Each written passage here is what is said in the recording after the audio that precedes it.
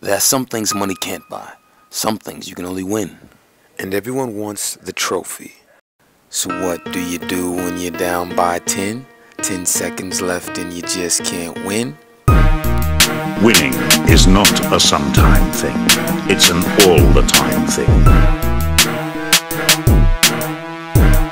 Winning is a habit.